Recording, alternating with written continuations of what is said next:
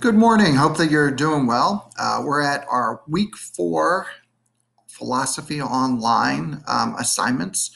Um, so, a couple of announcements before we get going. First of all, um, reminder about office hours. So, I have office hours every day um, from 10 until 11 a.m. So, if you have any questions for me, you'd like to touch base in real time um, and you would like to join in on the Google Meet, um, it's every day from 10 until 11.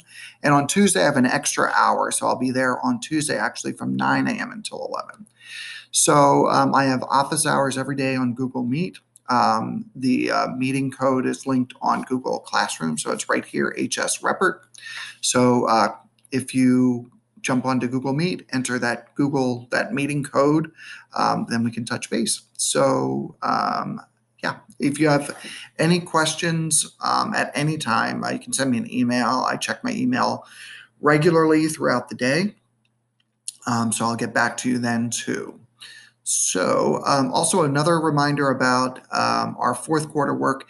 If you haven't submitted work from the previous weeks from the first, second, or third week, I'll still accept that. So if you turn in any work from the late from the fourth quarter, uh, make sure to fill out a late form. Uh, the late form is on Google Classroom, and it's the same process that we've used throughout the year.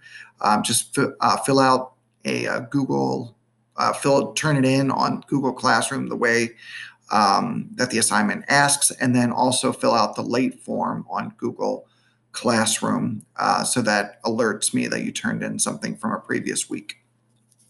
Okay, so getting on to this week's assignment. So we're doing something new. So this is Shakespeare and hip hop. So if you click on the link there, um, the document pops up uh, that that um, gives details about the assignment for this week. So we're going to continue to connect um, works, um, and we're connecting hip hop and Shakespeare, which seems rather odd, but should be a lot of fun, especially if you enjoy hip hop music.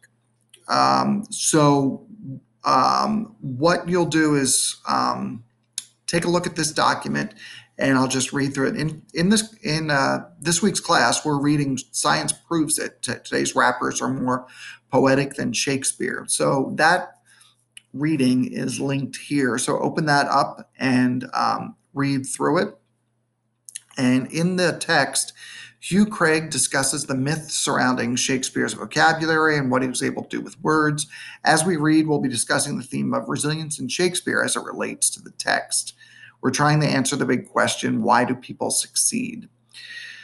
So, the activities for this week. So, uh, there is a um, resource online, Modern Lap, uh, Rap lyricism. Uh, so read through that. It's interesting, again, especially if you have an interest in rap or if you know anything about that. And it's a study that the author does that takes a look at vocabulary uh, with current rappers. So take a look at that. And then also read through the article that I mentioned earlier. Science proves it. Today's rappers are more, more poetic than Shakespeare. And then uh, there is a reading response assessment. So uh, click on that, answer those questions. And most of the questions draw from the Science Proves It article.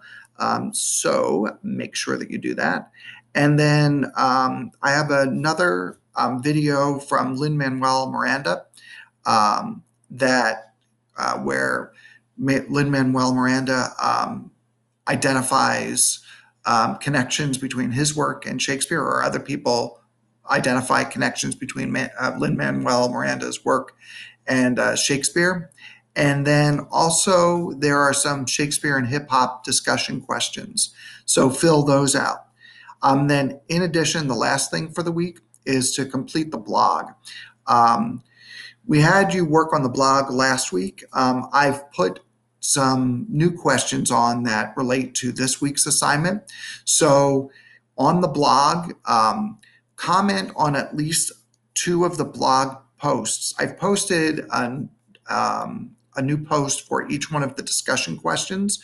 Uh, what you can do is take your responses to the discussion questions and cut and paste and put those on the blog, and then reply to at least two of the comments from your classmates, um, again, on the blog. So this week's activities, pretty straightforward. So just read through um, those that are all um, listed and linked here and uh, submit that. You will need to submit that by Tuesday, May the 5th at 11:59 p.m. And that's about it. So if you have any questions, you can touch base with me during my Google Meet hours, or you can send me uh, an email. Uh, and again, if you have any work from the previous weeks, I'll still accept that. So um, go online, go on Google Classroom and fill out the late work form if you submit anything from previous weeks. Thanks so much. Take care, and I will be in touch soon.